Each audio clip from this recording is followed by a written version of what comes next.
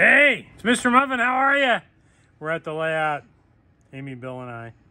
We are looking at the new Lionel Alco RS27 diesels right here.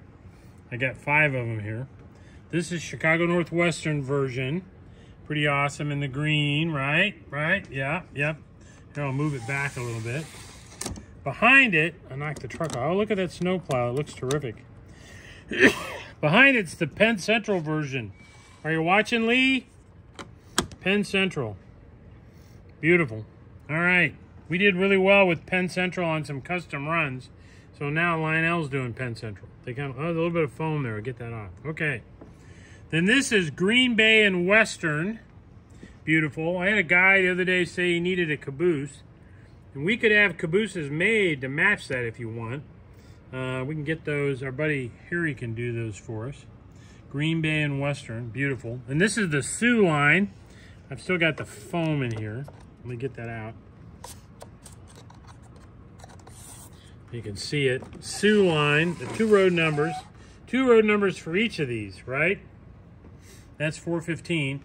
And then behind there is the demonstration paint scheme, right? So this is the paint scheme Alco would put on the diesels in order to loan them to other railroads. And again, there's two road numbers, 640-4 and 640-2 in the Alco demonstrator scheme. And I'm probably gonna keep a pair of those. They are pretty terrific, I'm thinking. Okay, now, the railroad that used these the most was the Pennsylvania and Lionel didn't announce at Pennsylvania. So we decided we would just do a custom run in Pennsylvania. And I got one around here somewhere. Oh yeah, there it is. This is our Pennsylvania version, road number 2412 in the Brunswick green. It's almost a black green, right? And uh, this is ours right here. We've got some of those left, a few anyway. Uh, RS27 in the Pennsylvania right there. All right. Alco RS27s by Lionel. Here and in stock. They look terrific.